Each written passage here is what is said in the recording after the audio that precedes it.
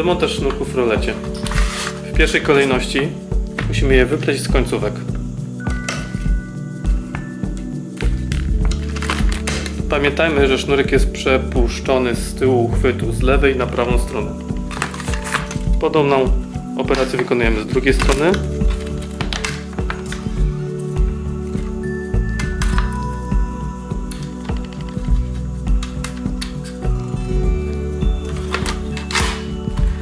Kolejna czynność.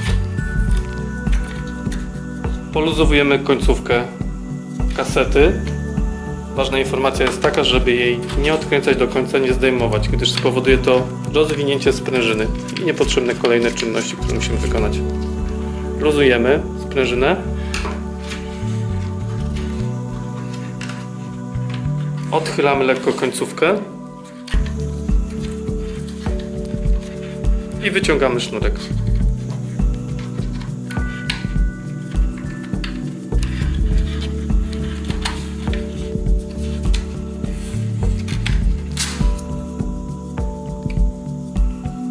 Podobną operację wykonujemy z drugiej strony.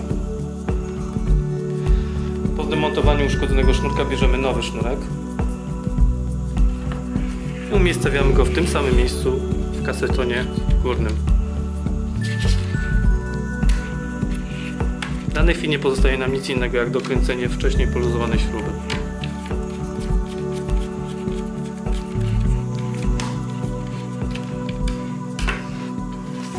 Sznurki wymienione. Pozostaje nam je przepleść. I wprowadzamy go w następujący sposób. Z prawej strony przeciągamy go na lewą i przeprowadzamy przez pierwsze oczko. Następnie zgodnie z wyżłobieniami sznurek wpinamy w kolejne pola. Sznurek z prawej strony jest przepleciony. Bierzemy lewy sznurek. Wprowadzamy go w pierwsze oczko. Przeprowadzamy z lewej strony na prawą. I wykonujemy tą samą czynność.